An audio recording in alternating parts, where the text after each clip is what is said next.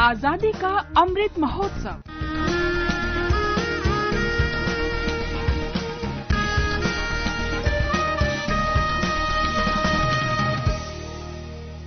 Azadi Ka Safar with AIR News. Birth of a Nation. India's glorious freedom struggle is one of the greatest struggles the modern world has ever witnessed. AIR News brings you a glimpse of this struggle every day.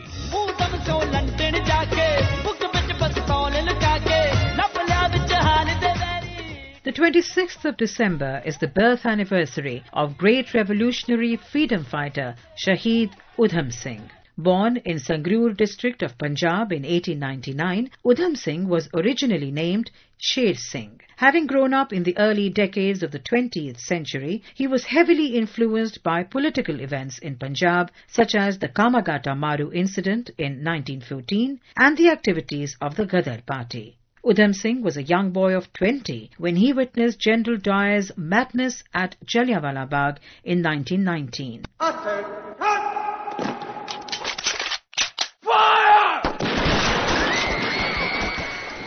The Jallianwala Bagh massacre was a turning point in his life and Udham Singh resolved to take revenge.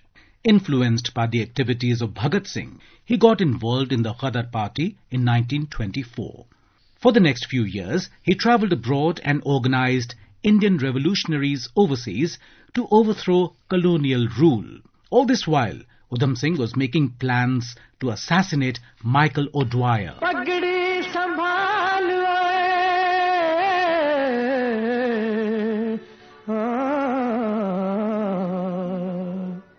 पगड़ी संभाल तेरा लुट गया माल पगड़ी संभाल जट्टा 20 years after the Jallianwala Bagh massacre, Udham Singh fulfilled his promise as he shot Michael O'Dwyer at a meeting in London on the 14th of March 1940. Michael O'Dwyer was the Lieutenant Governor of Punjab where the Jallianwala Bagh incident had happened. The assassination of Dwyer shook up the British authorities. Upon trial, he was sentenced to death. The accused would be hanged till death.